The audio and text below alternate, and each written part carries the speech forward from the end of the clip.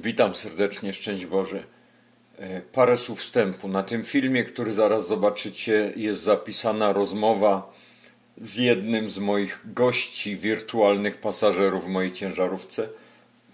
Podróżując po Ameryce, mam włączoną kamerę i, i rozmawiamy na różne tematy, mniej lub bardziej ważne. Tu jest spotkanie z bratem, chrześcijaninem, który nie jest katolikiem, jest ewangelikiem i mieliśmy myśleć ciekawą wymianę zdań. Nie jest moim celem tutaj pokazanie czyjejkolwiek wyższości. Trzeba sobie zdać sprawę, że w czasie tych dialogów ja mam lepszą sytuację, ja mam łatwiejszą sytuację, bo ja po prostu mówię jadąc.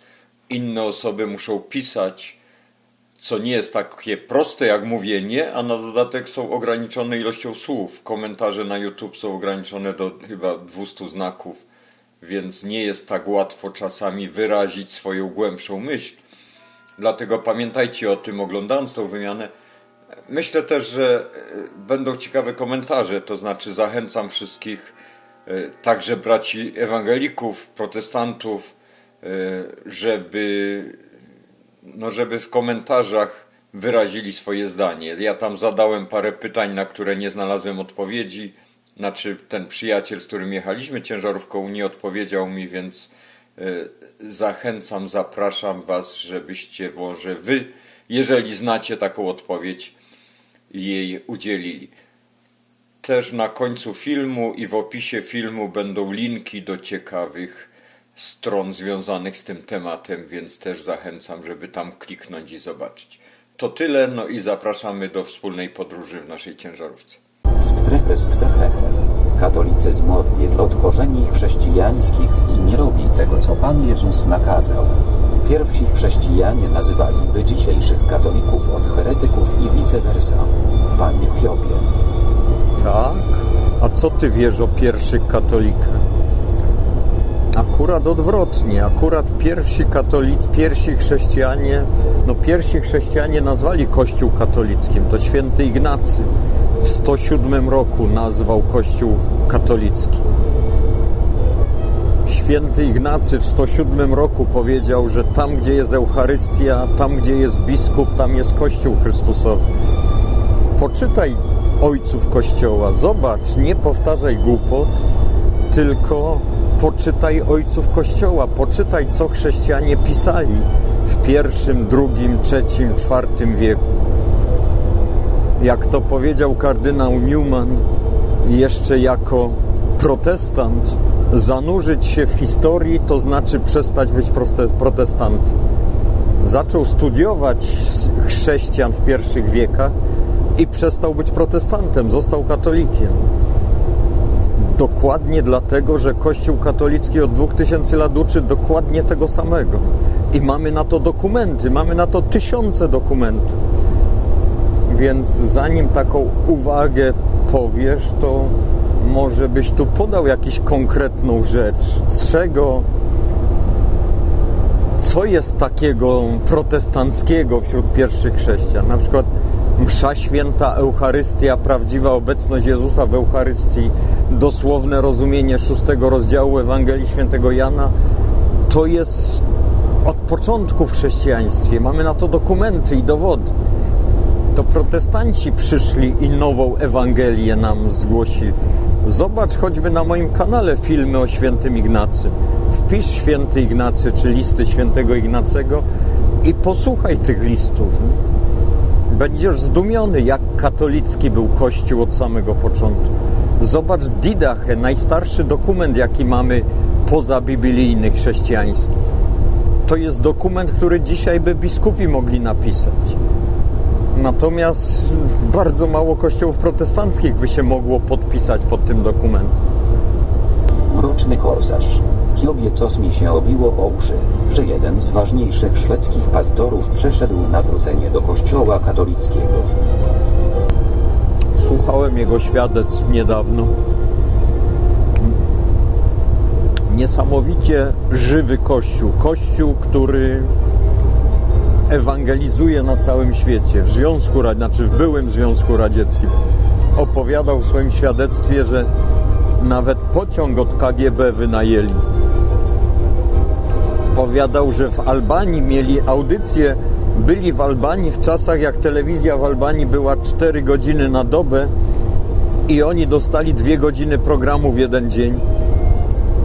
I jak zaczął mówić program na żywo, jak zaczął mówić o Jezusie, o potrzebie nawrócenia jako ewangelik jeszcze, nie jako protestant, to sam pierwszy sekretarz komunistycznej partii Albanii zadzwonił do telewizji, że mają natychmiast przerwać tą audycję, ale mówi, że nie przerwali. Że przez dwie godziny mogli mówić o Jezusie. No, mówi, że niesamowite rzeczy się działy w jego życiu. Także, wiesz, to nie był człowiek, co był niezadowolony z tego powodu, że jest ewangelikiem. No, cudowne rzeczy robił jako ewangelik. Ale właśnie przeszedł to, co Scott Hahn, że do studiowanie Pisma Świętego, studiowanie Biblii, studiowanie historii Kościoła doprowadziło go do pełni prawdy. No, po prostu mówi, że musiał zostać katolikiem, musiał to wszystko zostawić, zostać katolikiem, znaczy zostawić. On dalej ewangelizuje jako katolik, tylko że odkrył, że pełnia prawdy jest w Kościele katolickim. Gryzo, bono korzenie będę jadł, sptrych sptrachecher. Tak samo jest dużo księży katolickich, którzy nawracające się na protestantyzm. Tak, tylko wiesz, jaka jest różnica między księdzem katolickim, który się nawraca na protestantyzm, a protestantem, który się nawraca na katolicyzm. Jedna zasadnicza różnica. Nigdy, nigdy jeszcze nie spotkałem księdza katolickiego, który by powiedział prawdę o Kościele katolickim. Byłego księdza katolickiego. Nigdy. Nigdy nie spotkałem księdza katolickiego, który by powiedział, że studiował Pismo Święte, że Kościół mu pomógł odnaleźć piękno w Piśmie Świętym. Nie ma takich świadectw. Byli księża katolicy gadają takie brednie, że to się włos na głowie jeży, że na przykład nigdy Pisma Świętego nie czytali. Jest to tak absurdalne, bo on jako ksiądz codziennie nam mszy czyta Pismo Święte w całości przez cały trzyletni cykl. Studiował ileś lat Pismo Święte w seminarium, więc jest to oparte na kłamstwie, jest to oparte na fałszu, jest to oparte na fałszywym na łamaniu przykazania Bożego, na fałszywym świadectwie. Zawsze nie znajdziesz świadectwa księdza katolickiego, który mi powie, że był szczęśliwy w kościele katolickim, było cudownie, ale musiał zostać protestantem, bo znalazł prawdę w kościele protestanckim. Wszyscy łżą jak pies na temat kościoła katolickiego. Nie wiem, czy robią to świadomie, czy nigdy się nie nauczyli, czym Kościół katolicki jest, nie wiem. Nie znam ich serca, nie znam ich motywacji, ale zawsze jest to oparte na kłamstwie. Z kolei były protestant, który staje się katolikiem, zawsze z reguły, no pomijając takich ludzi, którzy zostali katolikami, bo żona była katoliczką i nie byli ani dobrym protestantem, ani nie są dobrym katolikiem. Pomijam taki. Ale tacy ludzie jak ten pastor ze Szwecji, czy jak Scott Hahn, oni zawsze mówią, jak cudownie było, jak byli ewangelikami. Jaki wspaniały kościół mieli, jak byli blisko Boga, jak oddali życie Jezusowi, jak poznali piękno Pisma Świętego. I jak im było żal opuszczać to, co mieli, bo to, co mieli, było cudowne. Taki Scott Hahn zostawił wszystko, stracił przyjaciół, stracił pracę, wszystko stracił, żeby zostać katolikiem. Stał się obywatelem drugiej kategorii w Ameryce, bo tutaj ewangelicy to jest ta, to są te łospy, White Anglo-Saxon Protestant. Najwyższa sfera ludzi to są łaspy w Ameryce, a katolicy to są ci imigranci, ci włosi, Irlandczycy, Polacy. To nie to co, co Angliosasi protestanci, czy Niemcy protestanci. I on to wszystko rzucił. No dlaczego to zrobił? Tylko dlatego, że studiowanie Pisma Świętego doprowadziło go do pełni prawa. Tylko dlatego, że doktryna sola scriptura nie jest nigdzie do znalezienia w Biblii. Zaczął mieć problem, no bo skoro cały protestantyzm opiera się o doktrynę sola scriptura, a jej nie tylko nie ma w Biblii, ale ona zaprzecza nauce biblijnej. Jeżeli cały protestantyzm stoi na doktrynie sola fide, a nie ma w Biblii doktryny sola fide, jest wręcz jej zaprzeczenie, to to wszystko jest oparte na kłamstwie. Zobacz sobie film Brauna o Lutrze. Pomijam już fakt, że dzisiaj Lutra by wyrzucili z kościoła luterańskiego, bo Luter wierzył w prawdziwą obecność w Eucharystii Jezusa. Luter miał wielkie nabożeństwo do Najświętszej Marii Panny. Rzeczy, które dzisiaj luteranom przez gardło nie przejdą. Pomijam to, że wszystkie kościoły protestanckie zmieniły nauczania w dziedzinie moralności, na przykład dotyczące antykoncepcji. Wszystkie kiedyś uważały, że to jest ciężki grzech, a teraz wszystkie uważają, że to żaden grzech nie jest. Noż pomijam takie rzeczy. Pomijam, że wyrzucili zupełnie szósty rozdział Ewangelii Świętego Jana, gdzie jak w, nik, w żadnym innym miejscu w Piśmie Świętym Pan Jezus czterokrotnie powtarza, że kto nie je Jego ciała i nie pije Jego krwi, nie ma życia wiecznego. Czterokrotnie to Pan Jezus powtarza. Nigdzie indziej nic w Biblii nie jest powtórzone tyle razy. A protestanci mówią, nie, przecież Pan Jezus nie mówi tego, co mówi. To jest zasadnicza różnica. Zobacz świadectwo Scotta Hanna. Posłuchaj, poczytaj. Tylko uważaj, bo kto przeczyta świadectwo Scotta Hanna, z reguły wraca do kościoła katolickiego. Bo tam masz niepodważalne argumenty. Nie ma w Piśmie Świętym sola fide, nie ma sola scriptura. To nie są biblijne idee. To jest nowa Ewangelia, zupełnie nieznana przez 1500 lat. To Luter wymyślił ze swoimi problemami psychologicznymi. A co święty Paweł mówił o nowej Ewangelii? Choćby anioł z nieba wam głosił nową Ewangelię, niech będzie przeklęty. Mroczny korsarz. Z której trochę o czym ty mówisz, jakie nawrócenie? Obejrzyj FLM Grzegorza Brauna Lutera Rewolucja Protestancka. Oczy otworzysz. Sptreches ptrachecher. Protestantyzm to ta sama Ewangelia co katolicyzm. Apostoł Paweł mówi, że jest tylko jedna Ewangelia. Nie, apostoł Paweł mówi, że przyjdą ludzie, którzy będą głosić inną Ewangelię. Powiedz mi, dlaczego wierzysz w doktrynę sola scriptura? Dlaczego Biblia jest dla ciebie jedynym autorytetem? Powiedz mi to. Jak mi to wytłumaczysz, może zrobisz ze mnie ewangelika. Powiedz mi, dlaczego wierzysz, że Biblia jest dla ciebie jedynym autorytetem. I dlaczego, i czy wierzysz, że człowiek jest zbawiony tylko przez wiarę? A jeżeli tak, to też powiedz mi dlaczego, bo to są podstawy ewangelizmu. Te dwie doktryny, sola fide i sola scriptura. Wytłumacz mi, powiedz mi, dlaczego wierzysz, że Biblia jest jedynym autorytetem i dlaczego wierzysz, że człowiek jest zbawiony tylko przez wiarę. Jeżeli w to wierzysz, no ale jeżeli jesteś ewangelikiem, to prawdopodobnie w to wierzysz. Mroczny korsarz.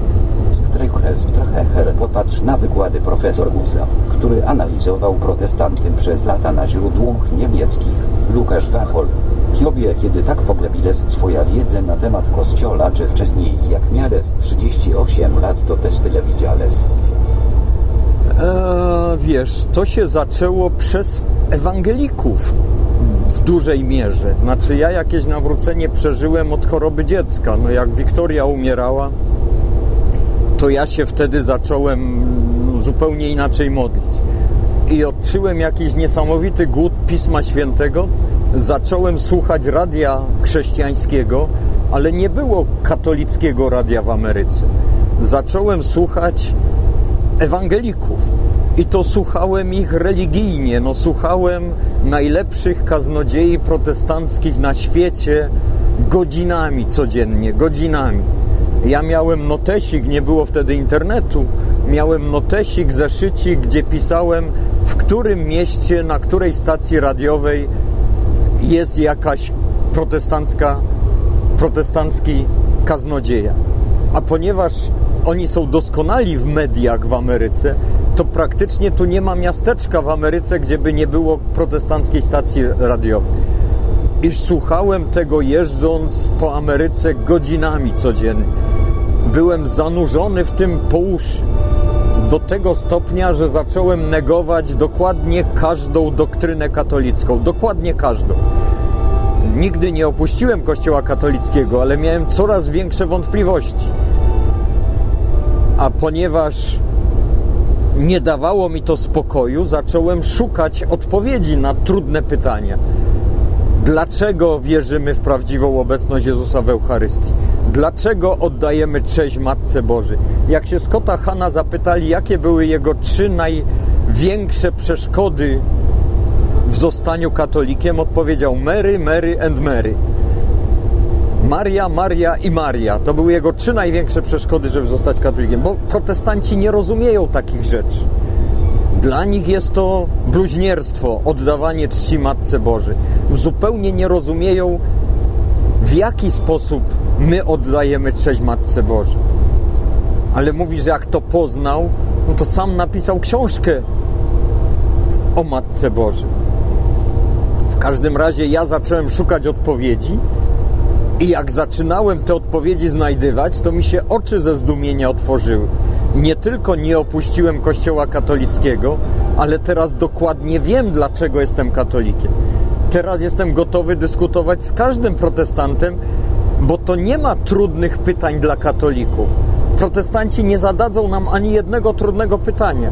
Ja odpowiem na każde pytanie protestanta, bo ja znam odpowiedź na każde pytanie protestanta ale protestant nie odpowie na moje pytanie, wystarczy te dwa pytania, które zadałem. Dlaczego wierzą w doktrynę sola scriptura i, i, i, i sola fide, czyli tylko wiara i tylko pismo? to są doktryny wymyślone przez człowieka. To nie ma nic wspólnego z nauką Pana Jezusa, to nie ma nic wspólnego z Pismem Świętym, to zaprzecza Pismu Świętemu, bo Pismo Święte nas uczy wyraźnie, że człowiek nie jest zbawiony tylko przez wiarę. Święty Jakub pisze konkretnie: człowiek nie jest zbawiony tylko przez wiarę. Więc jak ktoś wierzy, że człowiek jest zbawiony tylko przez wiarę, to zaprzecza Pismu Świętemu. Pismo Święte uczy wyraźnie, że należy przestrzegać tradycji pisanej i przekazanej ustnie. Święty Paweł o tym wyraźnie mówi. Przestrzegajcie nauki, którą Wam przedstawiłem w listach i tą, którą Wam przedstawiłem ustnie. Wyraźnie o tym pisze święty Paweł, więc doktryna sola skryptura jest sprzeczna z nauką Pisma Świętego, wymyślona przez człowieka. Więc tam mamy całą masę takich błędów. Co jest podstawą i filarem prawdy? Co nam Pismo Święte mówi, że jest podstawą i filarem prawdy? No, trzecie pytanie do kolegi protestanta. Powiedz mi, przyjacielu, co jest podstawą i filarem prawdy? Bardzo proste pytanie, na które znajdziesz odpowiedź w Piśmie Świętym. Co jest podstawą i filarem prawdy? Gregor. Witaj Hiobie, witajcie pasażerowie, szczęść Boże, mroczny korsarz. We, sptrecher sptrechecher. Dokładnie panie Hiobie. I nie pije krwi? Czemu katolicy nie piją krwi na wieczerzy, tylko ksiądz? Mówisz pan o jednym, a sam tego nie robisz. No czemu? Otóż mylisz się, przyjacielu. Dlatego, że święty Paweł napisał w jednym z listów, że kto spożywa ciało Pana Jezusa albo pije krew Pana Jezusa niegodnie, jest winny ciała i krwi Pana Jezusa. Powtórzę Ci, żebyś zrozumiał. Święty Paweł pisze, kto spożywa ciało Pana Jezusa albo, albo, tu jest słówko albo, pije krew Pana Jezusa niegodnie, jest winien ciała i, nie albo, tylko tutaj mamy i spójnik krwi Pana Jezusa. Inaczej mówiąc, niezależnie od tego, czy spożywamy ciało Pana Jezusa, czy spożywamy krew Pana Jezusa, jesteśmy winni ciała i krwi. Co z tego wynika? Z tego wynika, że pod każdą postacią sakramentalną jest obecny żywy Jezus. My nie jemy zwłok Pana Jezusa. Pan Jezus nas nie uczył, żebyśmy byli nekrofilami, żebyśmy jedli Jego zwłoki.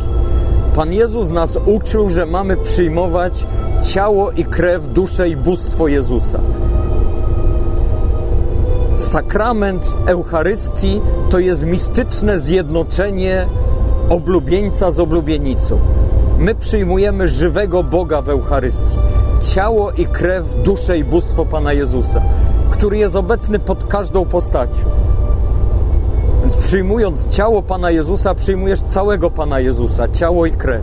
Przyjmując krew Pana Jezusa, przyjmujesz całego Pana Jezusa, ciało i krew, duszę i bóstwo. Bo my nie jemy zwłok Jezusa, my przyjmujemy żywego Jezusa w Eucharystii. I to też ma właśnie podstawy biblijne. To po pierwsze, a po drugie, akurat w Ameryce pod dwiema postaciami możemy przyjmować, jeżeli mamy tylko na to ochotę. No to przyjacielu, ponawiam moje trzy pytania. Co jest filarem i podstawą prawdy? Gdzie Biblia uczy doktryny sola fide i gdzie Biblia uczy doktryny sola scriptura? To są podstawy Twojej wiary, no wytłumacz mi to. Sptrecher, sptrechecher. Dlaczego wierzę w tylko wiarę, tylko pismo? Ja mogę zadać kilka pytań i poprę Pismem Świętym. Filarem prawdy jest Pan Chrystus Jezus. Fundamentem. Pierwszy raz jestem na tym czacie bardzo fajny. No witaj, witaj, bardzo się cieszę. Pismo Święte nam mówi, święty Paweł pisze to, że filarem i fundamentem prawdy jest Kościół. To są słowa świętego Pawła z Pisma Świętego. Może mi tu ktoś pomoże i wrzuci odpowiedni werset, no bo ja nie będę w czasie jazdy szukał. Chyba, że na katolików piszesz filar i podstawa prawdy. Ale święty Paweł uczy w liście, w liście do Tymoteusza chyba. O ile pamiętam, to jest w liście do Tymoteusza. Święty Paweł uczy, że Kościół pod filarem, i to tak mówi od niechcenia, nawiasem mówiąc, dziękuję Ci, że coś tam, coś tam w Kościele, który jest filarem i podstawą prawa. Więc Pismo Święte uczy. No a poza tym wiesz, no, my możemy podyskutować na każdy temat, ale ja Ci tu zadałem, wydaje mi się, proste pytanie. Skoro wierzysz w sola scriptura i sola fide doktryny, jeżeli wierzysz w doktrynę sola scriptura, czyli tylko pismo, to znaczy, że wszystko, w co wierzysz, musi być w Piśmie Świętym. Bo to ta doktryna mówi. Więc ta doktryna też musi być gdzieś w Piśmie Świętym. To mi powiedz, gdzie ona jest. No proste pytanie. Jeżeli wierzysz, że tylko wiara nas zbawia, tylko wiara, to powiedz mi, gdzie to jest w Piśmie Świętym. Albo przyznaj, że wierzysz w pozabiblijne doktryny wymyślone przez człowieka. A jeżeli masz jakiś problem z którąkolwiek doktryną katolicką, no to zapytaj mnie, to ja ci odpowiem. No zadaj mi jedno pytanie, odpowiem ci na nie, możemy na ten temat podyskutować, albo możemy przejść do następnego pytania. I Inka, szczęscy Bozem. Uwielbiam te rozmowy na temat różnic w protestantyzmie i katolicyzmie. Witaj, w internecie witaj. nie mogę tego wiele znaleźć, a może źle szukam. No, na naszym forum, na Katolik US mamy parę dyskusji na ten temat. Jest automatycznie czytany. Trochę mnie ogranicza. Napisałem odpowiedź i nie mogłem wysłać za długa wypowiedź. No to podziel ją, to, to wyślij po kawałku. Resowiak 1905. Szczęść Boże. Sptrecher sptrechecher. Chciałbym się spotkać twarzą w twarz i porozmawiamy. Ja również jestem kierowca z tym, z autobusu w Norwegii. O, my tu mamy innego kolegę, który jest kierowcą autobusu w Norwegii. No może się uda spotkać gdzieś, jak będę w Polsce, to chętnie się spotkam. White 1998. Witam wszystkich. Jar3CK. Witaj, witaj.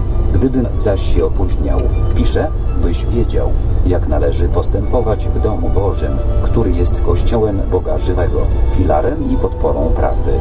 Pierwszy list do Tymoteusza, werset 15. Dziękuję bardzo, dziękuję. Właśnie tego wersetu szukałem, gdzie święty Paweł mówi, że to Kościół jest właśnie filarem i podporą prawdy. Pan Jezus zakładając Kościół powiedział, kto was słucha, mnie słucha, kto wami gardzi, mną gardzi. Dlatego ciągle mamy jeden Kościół, dlatego ciągle mamy jedną naukę w katolicyzmie, a od czasów reformacji protestanckiej, od czasów buntu Lutra mamy 50 tysięcy denominacji protestanckich. 50 tysięcy denominacji. No dlaczego? No, czy Duch Święty zwariował? Czy Duch Święty jest schizofrenikiem? No bo każda z tych denominacji twierdzi, że oni mają prawdę. Uczą tego, no bo, bo tak ich Duch Święty prowadzi. No może inny duch ich prowadzi, nie całkiem święty. Skoro się protestanci nie mogą dogadać co do nauki. Dlaczego jest kilkadziesiąt tysięcy denominacji protestanckich, a od dwóch tysięcy lat jeden kościół? Na dodatek Kościół nigdy nie zmienił żadnego nauczania. Nie ma żadnego dogmatu, żadnej doktryny Kościoła, który Kościół musiał zmienić przez dwa tysiące lat. A protestanci, mówię, Lutra by z Kościoła luterańskiego wyrzucili dziś. Poszukajcie jeszcze w liście świętego Jakuba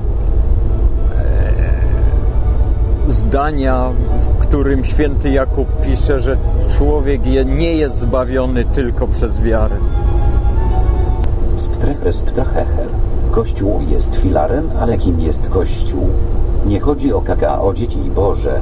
Nie, nie, przyjacielu, nie, nie, to nie chodzi o jakąś abstrakcję.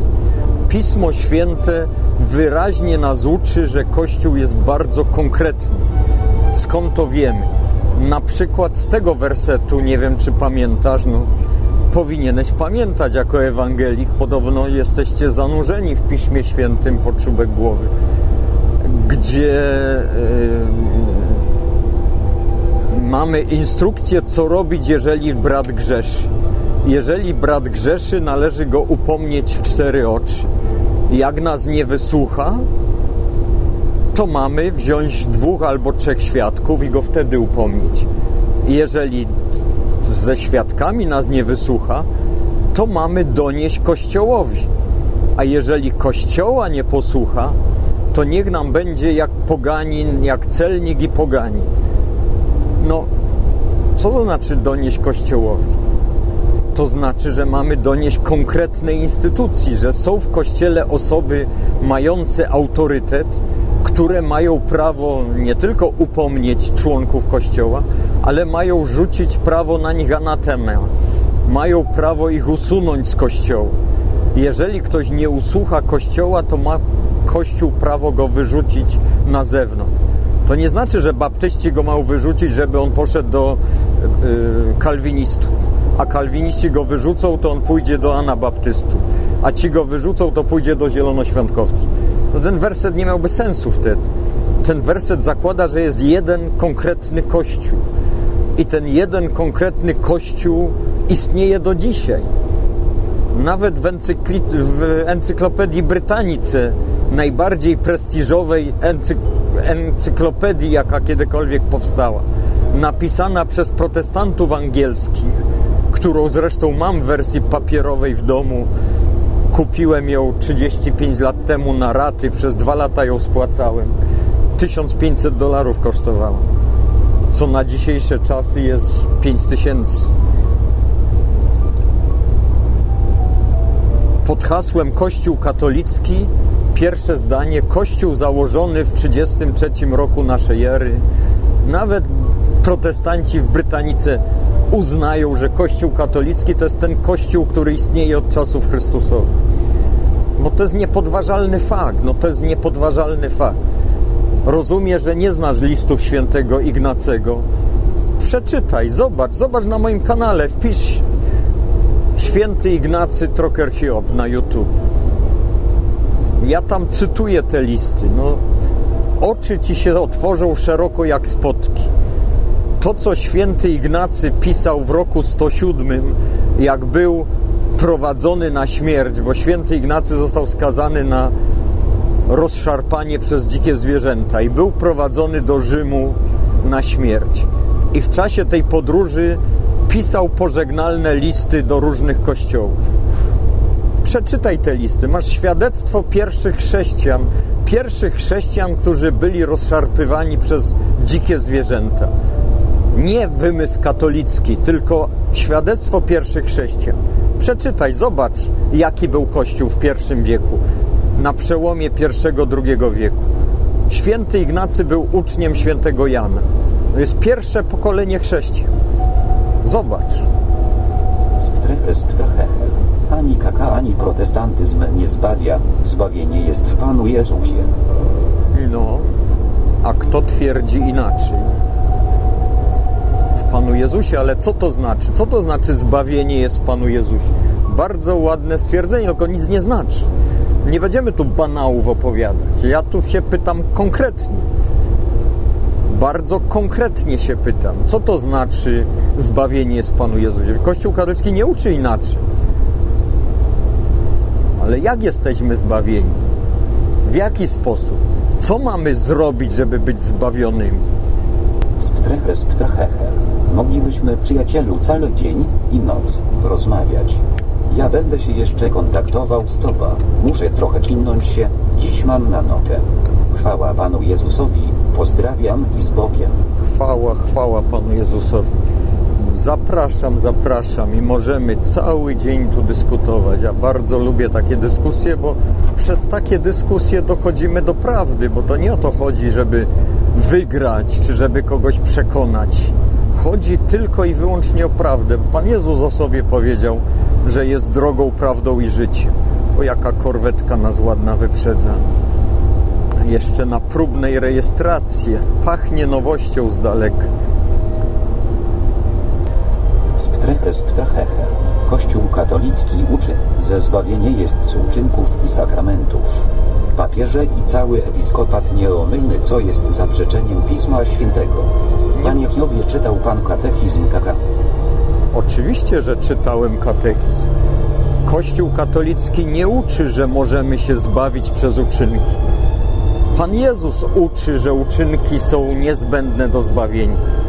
Znasz 25 rozdział Ewangelii Świętego Mateusza? Pamiętasz, tam jest opis sądu ostatecznego. Pamiętasz, co Pan Jezus powiedział?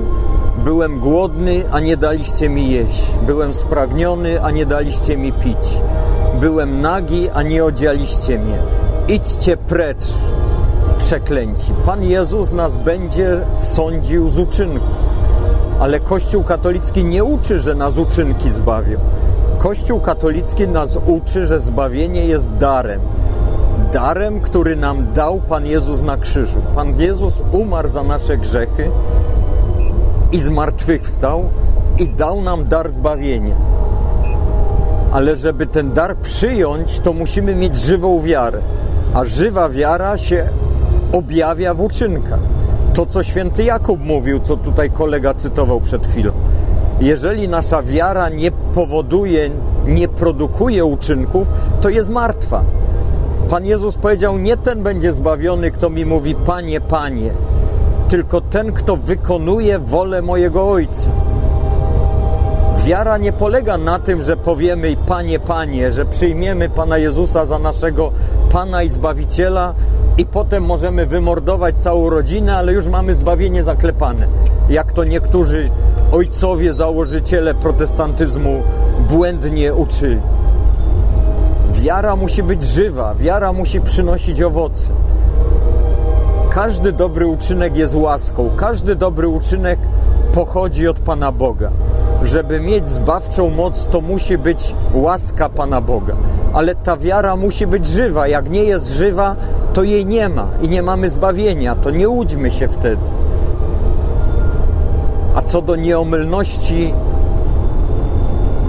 wszystkich biskupów uczących w jedności z papieżem i nieomylności samego papieża, to wybacz, ale to jest nauka Pisma Świętego znowu. Coś u ciebie kiepsko ze znajomością Pisma Świętego, przyjacielu.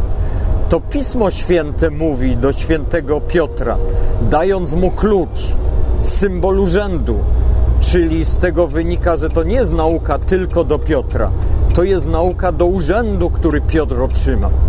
Co zwiążesz na ziemi, będzie związane w niebie, a co rozwiążesz na ziemi, będzie rozwiązane w niebie. Co z tego wynika? W niebie nie ma żadnego kłamstwa, w niebie nie ma żadnej hipokryzji, w niebie nie ma żadnego przekłamania. Więc jeżeli urząd papieski ma prawo stanowienia praw, które jest honorowane w niebie, to te prawa muszą być prawdziwe, muszą być zgodne z nauką Pana Jezusa. Pan Jezus, dając takie prawo papieżowi, równocześnie dał mu łaskę taką, że papież nigdy nie będzie nauczał niczego sprzecznego z nauką Pana Jezusa.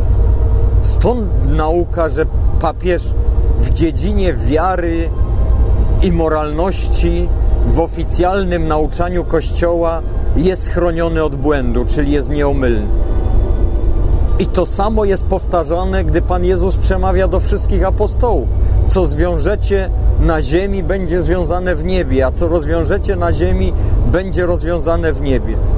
Rozdział 16 i 18 Ewangelii Świętego Mateusza. Gdzieś w granicach 16, 18, 20 wersetu. Przeczytaj 16 i 18 rozdział Ewangelii Mateusza. To Pan Jezus ustalił nieomylność Kościoła. Nie Kościół sobie to wymyślił. Sptreche, sptrecheche. Dokładnie zgadzam się. Chodzi o prawdę, abyśmy do niej doszli, nie o wojnę. Pozdrowiam bardzo uśmiech, Lord Etzles. Na marginesie tej dyskusji to właśnie ta niezmienność i niepodzielność przekonuje mnie do Kościoła katolickiego. Nie ma sytuacji na zasadzie tego nie lubię. To sobie zrobię własny kościół. Właśnie jeden z problemów ruchu protestanckiego jest church hoppers tak zwani skoczkowie kościelni, nie wiem jak to nazwać, że w takim kraju jak Stany Zjednoczone, gdzie mamy niesamowite rozbicie protestantyzmu, gdzie mamy w takim mieście jak Charlotte 800 kościołów, z tego 20 jest katolickich, a, a, a 800 protestanckich. Ludzie jak idą do kościoła i nie podoba im się, co pastor naucza, to idą do innego kościoła, znajdą innego pastora, który naucza czego innego. Jeden naucza, że rozwody są niemoralne i ponowne małżeństwo jest grzechem, a drugi jest sam po trzech rozwodach, no to nie naucza tego, no bo to, to idziemy do tamtego kościoła, jak jesteśmy po rozwodzie. Jeden naucza, że aborcja jest grzechem, a, a drugi naucza, że nie, że w pewnych sytuacjach nie jest to grzechem. No to idziemy do tego kościoła. No, po prostu po prostu protestancki pastor ma większe uprawnienia niż papież, bo papież wielu rzeczy nie może. Na przykład papież nie może zmienić nauczania Pana Jezusa. Nie może i nigdy nie zmieni. Papież może tylko strzec nauczania Pana Jezusa, a pastor może wszystko. Pastor może głosić nową Ewangelię i często to robi, zupełnie sprzeczną z nauką pastora z drugiej strony ulicy. Kto mu co zrobi? To jest jego kościół. Sptreche, sptrecheche. Dokładnie żywą wiara, czyli pokaz mi swoje uczynki, a ja powiem ci, czy masz wiarę. No właśnie. Dlatego nie mów, że katolicki kościół uczy, że uczynki nas zbawiają. Nie uczy tak kościół katolicki. Mówisz o katechizmie, tam mamy wykładnik wiary katolickiej. Przeczytaj, co katechizm mówi o zbawieniu. Przeczytaj czego uczy Kościół katolicki, a nie powtarzaj bzdur po wrogach Kościoła, którzy dają fałszywe świadectwo. Bo nigdzie nie znajdziesz w katechizmie Kościoła katolickiego nauki, że Kościół uczy, że uczynki nas zbawią. Nie znajdziesz tego, bo Kościół nigdy tego nie uczy. Więc nie rób, nie dawaj fałszywego świadectwa. Skoro wspomniałeś katechizm, zacytuj katechizm o zbawieniu co mówi katechizm o zbawieniu? Jesteśmy zbawieni przez łaskę, głównie przez Pana Jezusa. Natomiast uczynki potwierdzają, że nasza wiara jest żywa. Ale to nie przez uczynki jesteśmy zbawieni. Nigdy Kościół nie uczył wagi, że tu Pan Jezus będzie ważył nasze dobre i złe uczynki i jak przeważą dobre uczynki, to będziemy zbawieni. To nigdy nie było nauką Kościoła katolickiego. A to, że uczynki są niezbędne do zbawienia, to wiemy choćby z 25 rozdziału Ewangelii Świętego Mateusza, czy z listu Świętego Jakuba. Sptrecheche. Kaka jest oparty na papieru i episkopacie, czyli na ludziach. Mój Kościół oparty jest na Chrystusie, na objawieniu przez Ducha Świętego, kim jest Pan Jezus. No, ale Człowiek to jest omylny. Ale to, co mówisz teraz, to jest banał bez podstaw żadnych Ja nie będziemy dyskutować w taki sposób, że będziesz tu slogany mówił. To, co mówisz, to jest kim nieprawdą. Poprzyj to jakimkolwiek faktem. Zapytałem Cię konkretne rzeczy, na które nie potrafisz mi odpowiedzieć. Na każdy Twój zarzut odpowiadam Ci biblijnie. Co jest oparte na człowieku? Na każdy Twój zarzut odpowiedziałem Ci biblijnie. Na każdy. A Ty mi nie odpowiedziałeś nic biblijnie. Na moje pytania nie odpowiedziałeś mi w ogóle. Gdzie w Biblii jest doktryna sola scriptura? Gdzie w Biblii jest doktryna sola fide? Nie odpowiedziałeś mi. Nie odpowiedziałeś mi biblijnie, co jest filarem i podstawą prawdy. A ja ci odpowiedziałem biblijnie, udowadniając ci, że Kościół katolicki jest zgodny z nauką Pisma Świętego. A ty mi powtarzasz banały, jakieś slogany. Ja wiem, że twoja wiara się opiera na sloganach, no ale my się nie mamy opierać na sloganach. I powtarzaj, moja wiara jest oparta na Jezusie i Duchu Świętym. Koniec dyskusji. To nie jest koniec dyskusji, bo to nie jest argument. Co to znaczy, że jest oparta na Duchu Świętym? A poza tym, który kościół protestancki jest oparty na Duchu Świętym? Który z 40 tysięcy? I dlaczego pozostałe 39 tysięcy nie jest opartych na Duchu Świętym? Dlaczego Twój kościół protestancki ma Ducha Świętego, a kościół z przeciwnej strony ulicy nie jest oparty? I pastor z przeciwnej strony ulicy się nie zgodzi z Tobą. Skąd wiesz, że jest oparty? Gdzie Pismo Święte mówi, że to Twój Kościół jest oparty na Duchu Świętym? Gdzie Pismo Święte? Bo Pismo Święte mówi, że Duch Święty będzie Kościół prowadził. Ten Kościół, który założył Pan Jezus. Ten Kościół, który trwa 2000 lat. Który uczy tego samego od 2000 lat. A nie taki Kościół, jaki Luter założył 500 lat temu. Sprzeczny z nauką Pisma Świętego, i tradycji, która ma 2000 lat.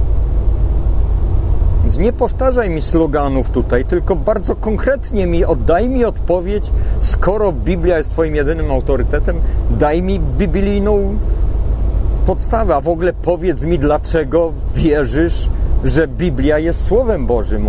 To jest, od tego zacznijmy. Na jakiej podstawie uważasz, że Pismo Święte jest Słowem Bożym? Sptrefes ptachefer. Pan Jezus mówi do Piotra, idź precz szatanie. Ja się cieszę, że mój Kościół nie jest oparty o człowieka Piotra. No, i co to jest za argument? A w jakim kontekście Pan Jezus to powiedział? Nie manipuluj Pismem Świętym, żeby udowodnić swoje kłamstwa, bo jest to bardzo nieładne. Dlaczego Pan Jezus powiedział Piotrowi idź precz szatani? dlatego że Piotr chciał Pana Jezusa powstrzymać od męki pańskiej, bo myślał po ludzku, bo się troszczył po ludzku o Pana Jezusa. A Pan Jezus powiedział: Nie, to nie jest ważne, co Ty sądzisz z miłości do mnie. Ja przyszedłem na ten świat, żeby zbawić ludzi. Jesteś mi zawadą, jesteś mi szatanem teraz. A co to ma wspólnego z faktem, że Pan Jezus na Piotrze założył Kościół? To przecież po zmartwychwstaniu Pan Jezus potwierdza swoją decyzję, powtarzając trzykrotnie Piotrowi paziowieczki moje. Pismo Święte nie jest do takiego lawirowania i wyciągania wersetu, bo ja Ci mogę udowodnić w taki sposób, że Pismo Święte mówi Boga nie ma. Trzeba patrzeć na kontekst, a nie wyciągać taki werset i mówić, oto jest dowód, że papiestwa nie. Pan Jezus nie odebrał kluczy Piotrowi. Pan Jezus założył kościół na skalę, na Piotrze. I tego faktu nie przeskoczysz, czy ci się to podoba, czy nie. Mroczny korsarz. Zakłamanie w protestantyzmie zaszło tak daleko, że błogosławią związkom homoseksualnym tego nie uczył Chryst. Mroczny korsarz. I to jest fakt. I imka. Kiobie, jak rozmawiasz z protestantami, chcąc im pokazać sklesz, wytłumaczyć, że sa w błędzie, żeby zmusić ich do szukania informacji i myślenia będąc miłym i nie narzucać niczego? No z tym miłym jest problem. Ja bardzo emocjonalnie podchodzę do takich dyskusji. A mówiąc właśnie jak należy ewangelizować, Pismo Święte podkreśla, żeby robić to z miłością. Na pewno nie można okazywać niechęci, nienawiści. To są nasi bracia. I my się bardzo dużo możemy nauczyć od ewangelików. Ja sam się nauczyłem bardzo dużo od ewangelików. Bo to nie jest tak, że ewangelicy yy, to jest jedno wielkie kłamstwo. Ewangelicy mają niesamowitą ilość zalet, właśnie tą żywą wiarę, miłość do Pisma Świętego, miłość do Jezusa, to, że żyją swoją wiarą, coś, co często tradycyjni katolicy zatracili. Scott Hahn na przykład mówił, że wśród jego kolegów, on się wychował w Pensylwanii, tam jest dużo katolików, chodził do szkoły, w której miał dużo kolegów katolików. Mówił, że to byli zawsze ci, którzy najbardziej imprezowali, najwięcej pili, najwięcej kleli. Najgorsi chuligani to byli katolicy. I to go też odstręczało od katolicyzmu, od wiary katolickiej, bo często jesteśmy katolikami czysto nominalnymi, natomiast nie żyjemy według tej nauki. A ewangelicy, zwłaszcza ci, co się stali z wyboru, ja nie mówię tam o siódmym pokoleniu Skandynawów właśnie promujących homoseksualne związki, ale mówię o polskich ewangelikach. To są często ludzie, którzy właśnie tą żywą wiarę odkryli dopiero wśród protestantów. Dlatego mają wrażenie, że Kościół protestancki jest prawdziwym kościołem, bo zobaczyli tam żywą wiarę, której nie widzieli wśród katolików. Dlatego jest ważne, że no, katolicy też potrzebują nawrócenia. Każdy człowiek potrzebuje nawrócenia. Bo to jedna rzecz jest być w kościele, który uczy prawdy, ale druga rzecz to jest to, że my potrzebujemy żywej wiary, potrzebujemy nawrócenia. Niezależnie od tego, czy jesteśmy katolikami, czy nimi nie jesteśmy. Nie wystarczy się zapisać do dobrej organizacji. Nie wystarczy sobie jajka wymalować na Wielkanoc. Żywa wiara nie na tym polega. To znaczy, katolicyzm nam daje pełnię prawdy, ale to jest jedna rzecz. Ale to nie znaczy, że każdy katolik będzie zbawiony, a każdy protestant potępiony. Zbawieni będą ci ludzie, którzy żyją w stanie łaski uświęcającej. A jak ktoś jest katolikiem, a nie żyje w stanie łaski uświęcającej, nie ma relacji z Panem Jezusem, nie ma życia sakramentalnego, łamie prawo Boże, to będzie potępiony.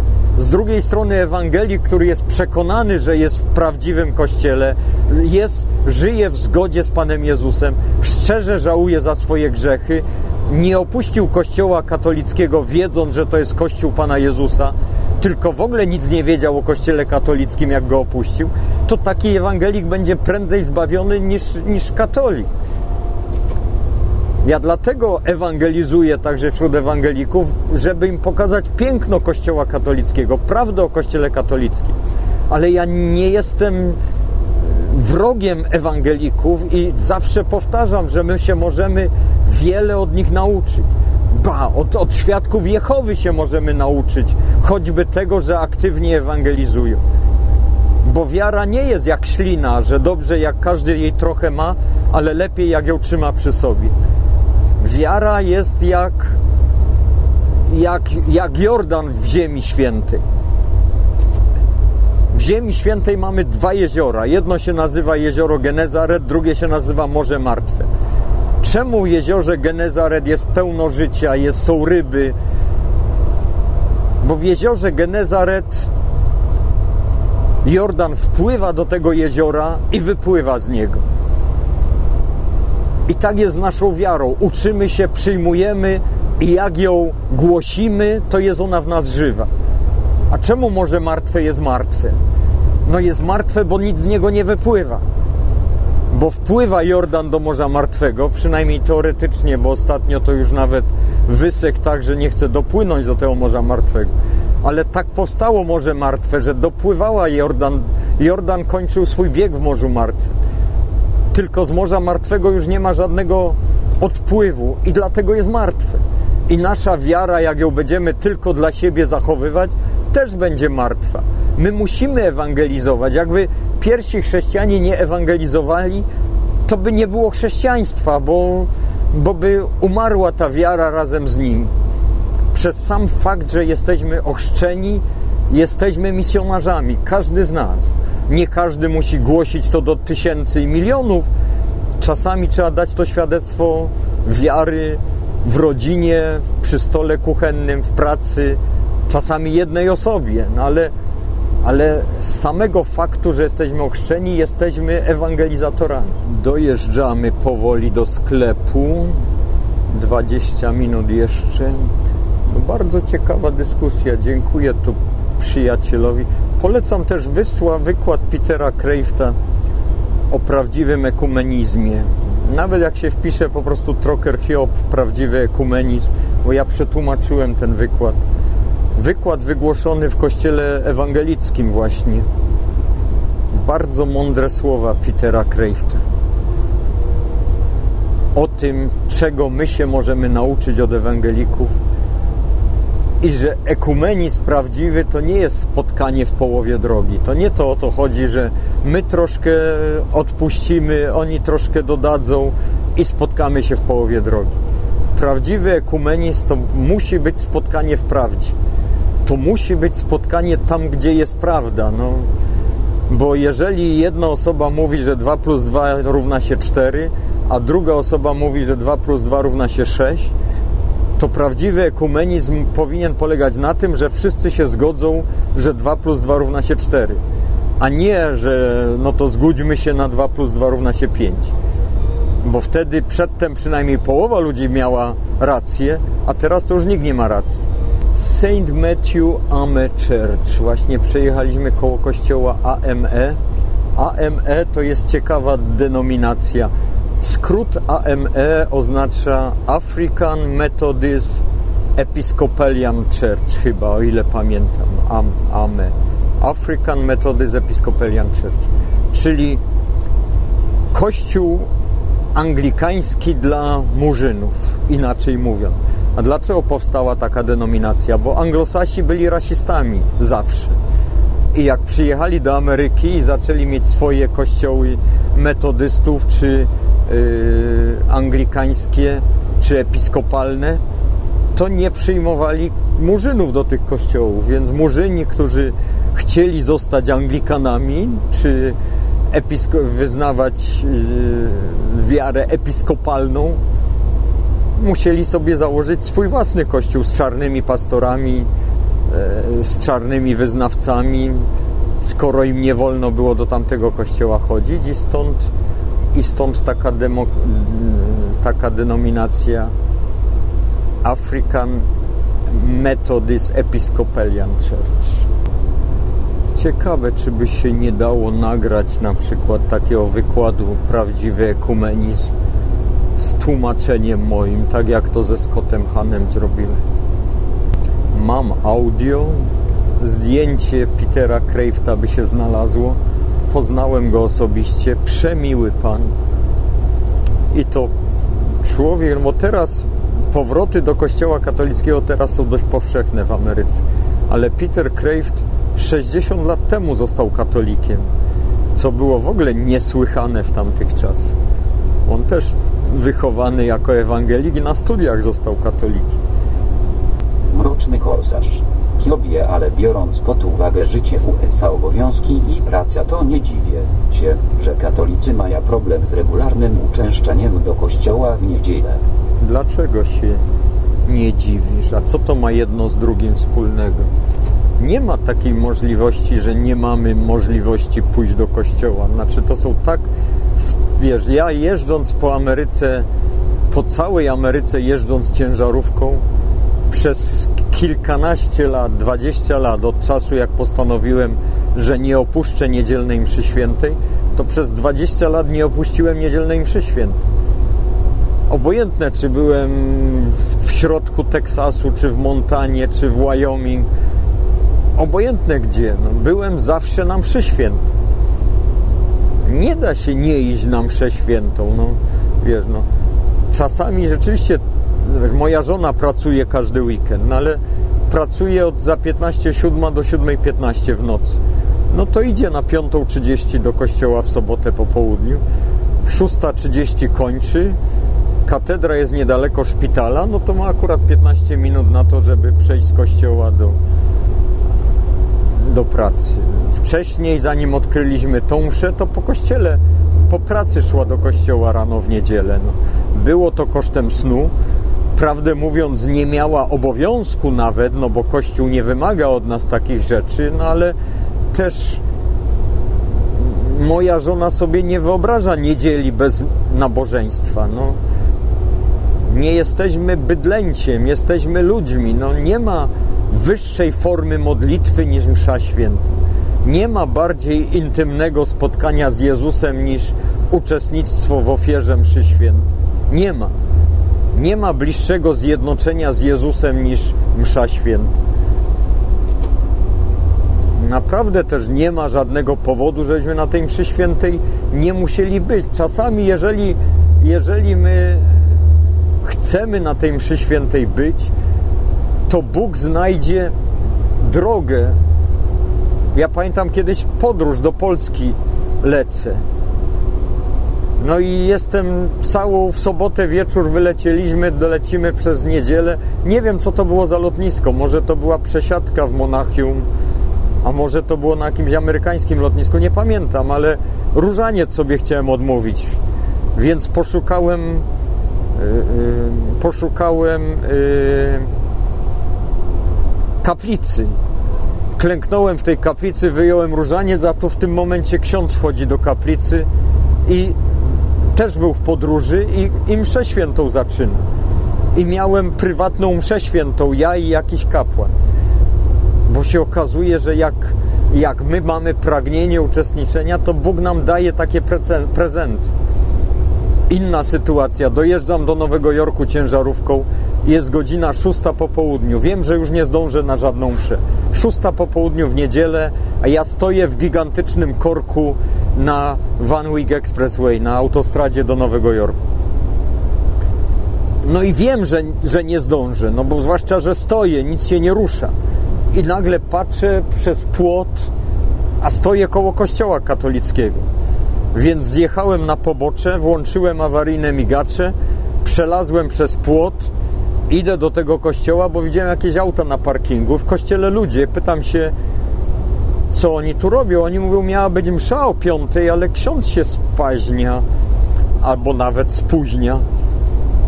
Więc czekamy, bo nie wiemy, co się stało. Mówią, wielki korek na drodze, może nie może dojechać.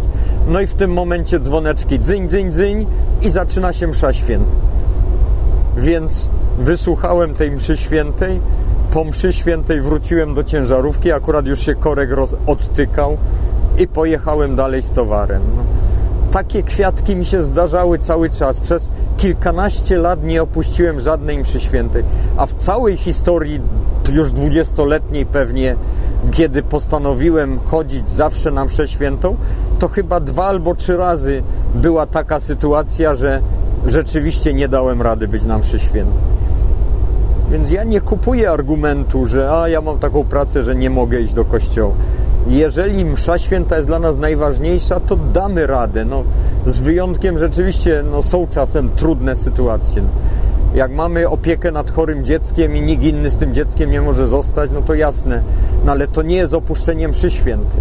Mroczny korsarz. Pozdrawiam. Tak Hiobie o to mi chodziło. Kościół nie wymaga i tylko od ludzi zależy, czy tak zorganizują sobie czas, urwia godzinkę ze snu tudzież odpoczynku, aby odwiedzić świątynię i uczestniczyć w Eucharystii. Wiesz, ale Kościół nie wymaga, jeśli rzeczywiście nie możemy. Ale jest tutaj duże niebezpieczeństwo, co mówię z własnego doświadczenia, bo ja tak do tego podchodziłem. Jako młody chłopak w Ameryce że szukałem tylko pretekstu, żeby nie iść do kościoła. Że zdarzało się, że wiesz, pracowałem w niedzielę do pierwszej rano i mówiłem, o, to już nie muszę iść do kościoła, bo w niedzielę pracowałem.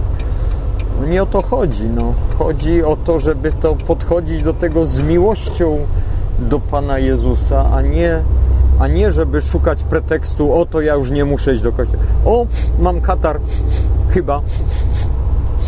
Pociągam nosem. Tak, tak, tak, troszkę kataru mam. Oto jestem chory, to nie muszę iść do kościoła. Jasne, że jak smarkamy i kichamy i zarażamy wszystkich naokoło, to nie powinniśmy iść do kościoła, bo pozarażamy pół kongregacji. Ale to nie znaczy, że o, dziś się źle czuję, coś mnie tu szczyka z boku, to nie muszę iść do kościoła żeby to też umieć rozróżnić jedno od drugiego. Świro, witaj Hiobie, szczęść Boże, Piotr Trofimiuk. Moim zdaniem, jeśli ktoś chce, to nie ma problemu w uczestniczeniu we mszy świętej raz w tygodniu.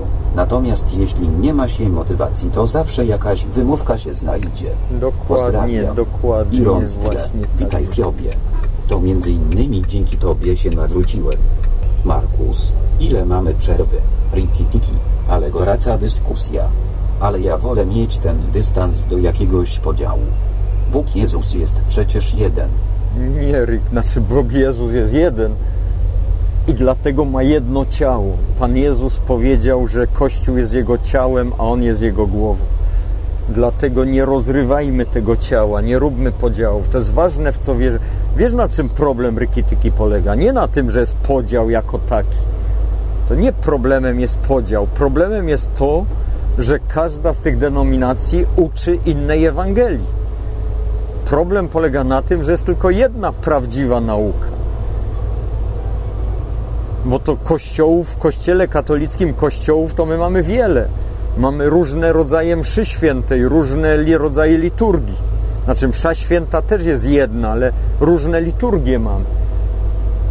Podział nie jest zły, każdy z nas idzie inną drogą do zbawienia. Problemem jest fałszywa nauka. Problemem jest to, że protestanci uczą fałszywej nauki, czyli nie przybliżają ludzi do Boga, ale oddalają. Problemem jest to, że oni uczą rzeczy niemoralnych, uczą rzeczy grzesznych. I tu jest problem, i to jest problem taki, że ludzie to wybierają, bo im jest to wygodne. Na przykład nauka o yy, antykoncepcji.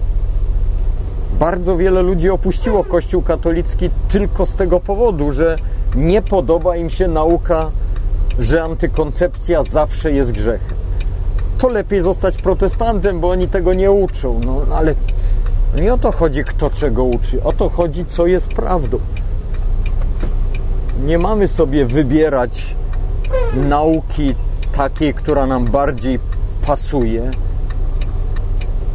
tylko mamy szukać prawdy. Ja teraz muszę Was wyłączyć, bo ja tu cofam do tyłu zresztą. Wyjątkowo do tyłu cofam, a na dodatek od tej strony, co nic nie widzę. Lord Etzles. Lepiej się tego słucha niż audycji w radiu. Serio. Przy pracy idealnie. Lord Etzles. Zgadzam się, cofanie do przodu jest o wiele prostsze. Markus. Detał ten luk. Świro. Kiobie, co sądzisz o rozwodach kościelnych? Nie ma rozwodów kościelnych, więc nic nie sądzę. Nie ma czegoś takiego jak rozwody kościelne. Kościół jedynie może stwierdzić, czy małżeństwo było zawarte in the first place, to znaczy, czy było spełnione warunki, żeby małżeństwo było ważne. Natomiast nie istnieje coś takiego jak